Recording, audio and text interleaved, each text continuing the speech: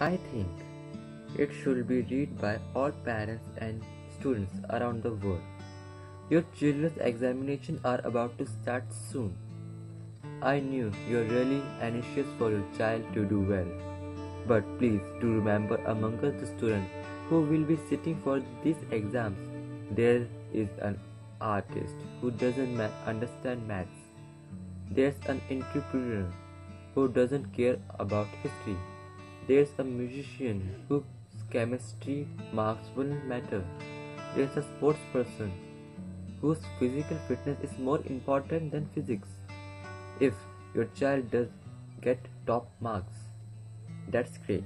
But if he or she doesn't, please don't take away their self confidence and dignity. Tell them it's okay, it's just an exam. They are cut out for many bigger things in life. Tell them no matter what they score, you love them and will not judge them. Please do this, and when you do, watch your children conquer the world. One exam or low marks wouldn't take away their dreams and their talent.